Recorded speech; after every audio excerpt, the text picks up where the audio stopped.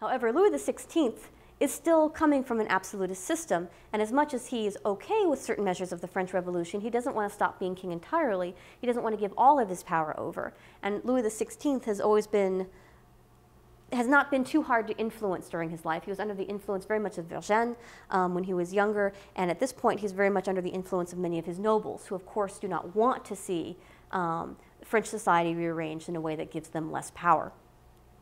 Um, so Louis XVI does begin to make uh, uh, negotiations with Austria um, that would allow Austria to come into France and fight the revolutionaries and end the revolution and restore Louis XVI to all of his power, restore all the land and all the power to all the nobles um, who have had, had their power and their land decreased.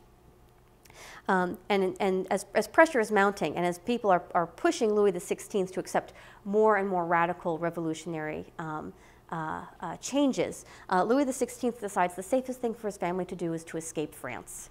And so late one night, he and his wife, Marie Antoinette, and their three children um, get into a carriage uh, with a, a, nursemaid and a servant, and they start to head for the Austrian border. And if they can make it to the Austrian border, which is where many French nobles are hiding at this moment, and which is also where his wife, Marie Antoinette, is from, then he knows he'll be, he'll be okay, he'll be protected, and from Austria, he can try to redirect a reversal of some of the revolutionary policies that he really didn't approve of um, when he was kind of forced or, or pressured um, to agree to. Of course, though, Louis XVI, being a nice guy but not always the brightest guy, leaves in a giant carriage that's very gilded and golden and beautiful, uh, and is moving, very, moving really too slowly as he starts to go towards the Austrian border. And he almost gets there. He almost makes it. But in a small French town, just, just on the French side of the Austrian border, he is stopped. And that town is called Varennes. And so this episode of The King is usually called The Flight to Varennes. And so Louis XVI is exiting his carriage. Um, he's often portrayed as, as being very hungry and needing a snack, and so he's stopping somewhere to get a snack. Um, really, he and the, the royal family needed to stop and rest um, for a little while, and so he's walking around, and, and legend has it that he went up to a man and said, hello, I need a snack. And he presented a coin that had his own face on it, because of course Louis XVI, monarch of France, is going to have his image on the currency. And the man looked at the coin, legend has it, and looks at Louis XVI and says, oh no, you are the king. What are you doing here?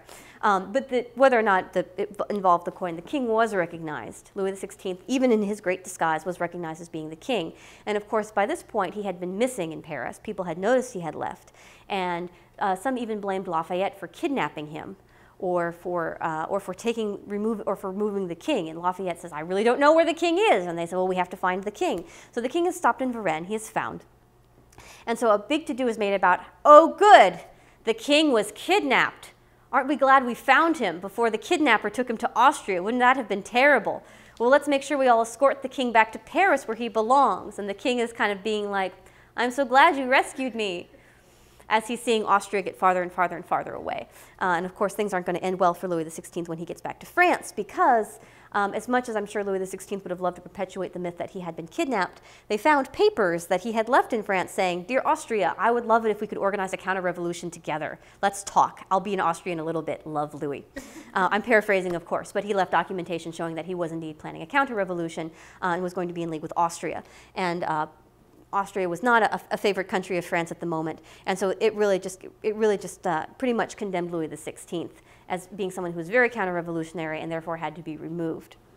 Now, the decision um, to execute Louis XVI was, a, was again a very complicated decision, and I'm not going to, to show all of it in its beautiful um, uh, uh, complications.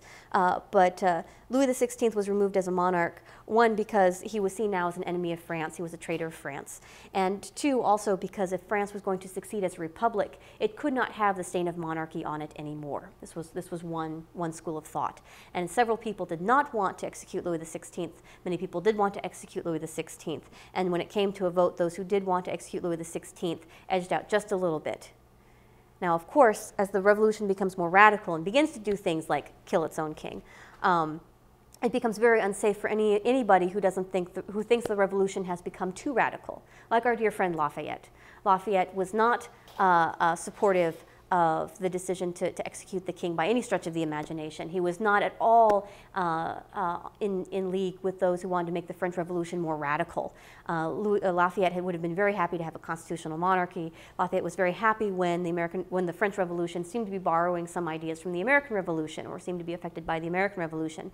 At this point, Lafayette doesn't recognize it anymore, and he knows that he is in danger because he uh, did not support certain radical measures of the French Revolution, and he decides to flee with his family as well.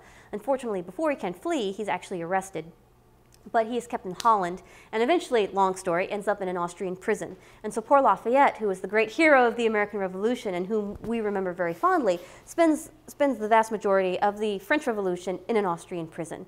Um, eventually, he's, he's set free, but he can't return to France yet because Napoleon Bonaparte, by this point, considers him a threat. This is in the late 1790s.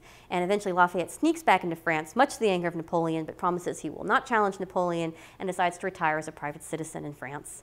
Um, and that is why when Lafayette returns to America in the 19th century to do kind of a grand tour for a period of about a year, he is so happy to be in America because he knows that in America he is still a great hero, whereas in his home country of France, his legacy has become much more complicated.